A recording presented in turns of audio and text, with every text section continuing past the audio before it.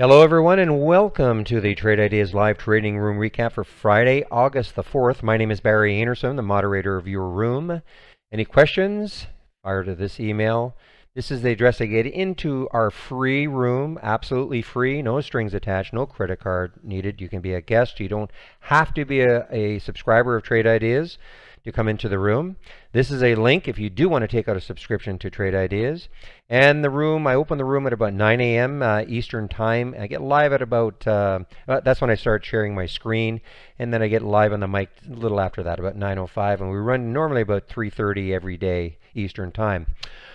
All right, what a day. Man, oh man, oh man. Anybody says that uh, the summers are uh, boring, Jeez, I mean, there's so many earnings plays, uh, first of all, that you know, it's there's just so th that can be a bit of a problem because there's so many things to pick from. If you're in our room, I mean, there are so many fantastic I ah just a minute. That just disappeared on me. Just got to find it. There we go. Nope. There it is. There are so many fantastic plays uh, to to pick from.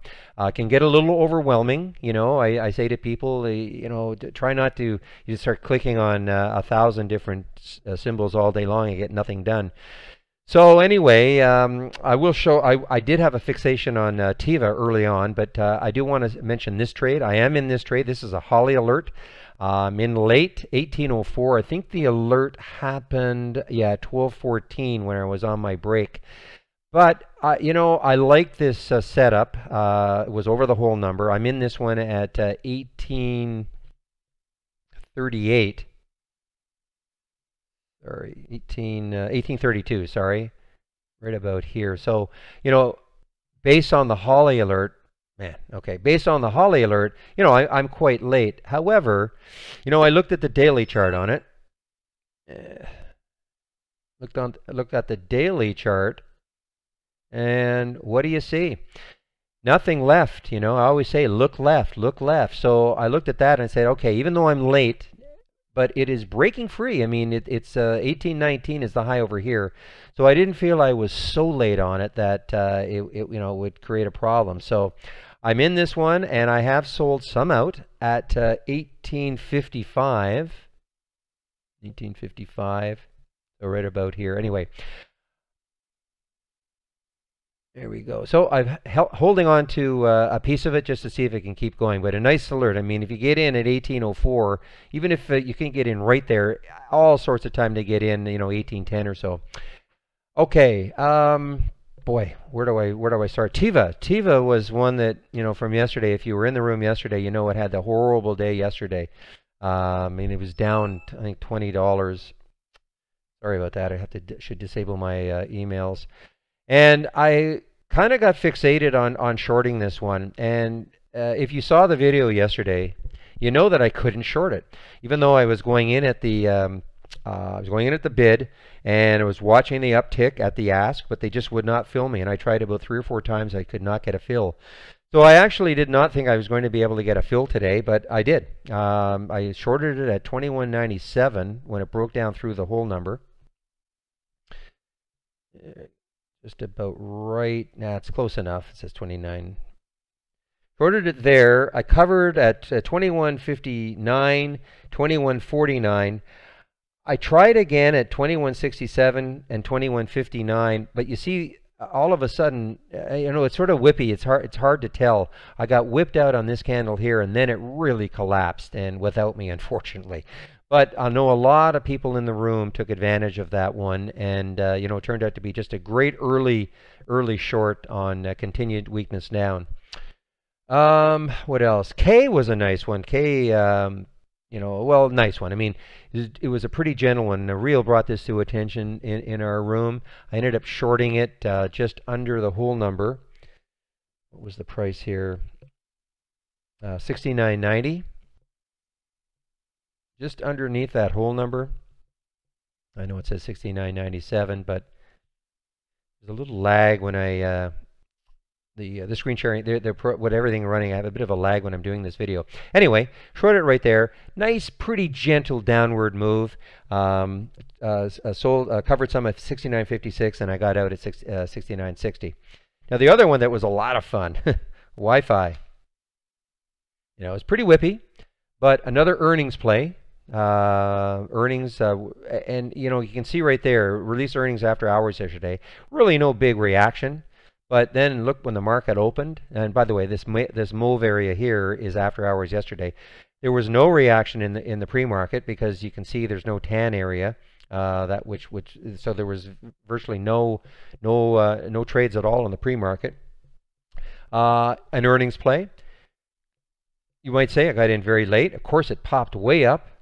Uh, I saw it. I don't know exactly when I first saw it, but um, got into the trade right over 19, over that whole number. Right about here. Right about here. And look at the pop. I mean, you might say, okay, I, have missed this big move. And of course, I would have loved to have known about it right here. But I think I was in this trade for just minutes, all right? Uh, it popped up to 1930. It got all the way to 1942. I sold some at 1931, and then I got and then a, a little profit uh, as it came back down. But I mean, there was such a quick, quick trade, and you know, just worked out really, really well. The one that didn't, unfortunately, was CNSL. Same sort of thing. It would have worked out, except I got knocked out here. Uh, another another earnings play got into the trade at 19, 1931 right up here. And it did pop up to 1938, high hopes. I think if you look, if we look at the daily, I think you'll see why. Yeah, you look at the daily, look at the void. you know, look left, look left. You'll hear me say that a million times in the room. Look left on the daily chart to see if there, you know, what sort of resistance there is. So anyway, I love that. It was an earnings play, but you know, you, they don't all work. Um, I got unfortunately whipped out here, took a small loss on it, and then it came right back. So, um, man, man, what a, what a day! Uh, I tell you, there was oh, e, I mean EFI. I mean, there were some massive, massive moves today. Look at this one, just collapsed. Uh, I think there's a class action suit. Uh, we thought this was an earnings play, but maybe they haven't released earnings yet. But uh, you know, just a massive collapse. And the big one here. This is what happened after hours. This is why I do not hold over earnings. It's that simple. Uh, this is uh, earnings release. You know, this was a darling. Take a look at the daily. If you haven't been following, I mean, look at this move here over the last uh, several weeks. Of the darling, it almost got over a hundred dollars. Uh, I know a lot of people thought, okay, you know, they're going to have good earnings, um, and the earnings were good, revenues are good, but it's the guidance that was bad. Uh, they they were saying a big slowdown in the third quarter, and so the market just absolutely annihilated them. And now there's a class action suit just launched uh, also. So um, you'll hear me say a million times, I never hold over earnings. And you know what? Yes, this could have popped 20 bucks if it, if, if, if it had been great. I just don't need the aggravation. You know, it's that simple. I'll play it once the market opens, and yes, I'll miss and make a big $20 move uh, up or down. I get that, but I don't need the aggravation of um, of of, of you know, watching a move like this go against me. And uh, for all the ones that go up, you know, you probably get an equal number going down. So to me, it's just a gamble. Now this is interesting, and fortunately, I have no shorts at uh, Interactive Brokers. You know, I tried to actually tried to short this one, and but there are no shorts available for me. Anyway, guys, there's so many, so many um, um, great, outstanding uh, setups today, uh, both on the long and the short side. So I hope if you're not, if you've never been in our room before, I think you'll, uh, I think you'll love it. It's not, and it, it is not all about me.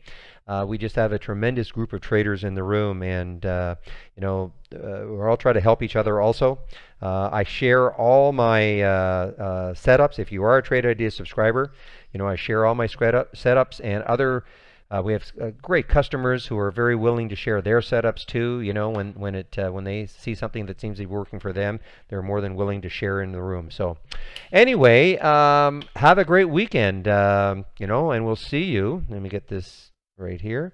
Have a great weekend, and we'll see you bright and early Monday morning. As I say, I'll open the room at about 9 a.m. and get live on the mic at 9:05. And so, share my screen and live all day long. All right. Thanks for listening. Bye bye.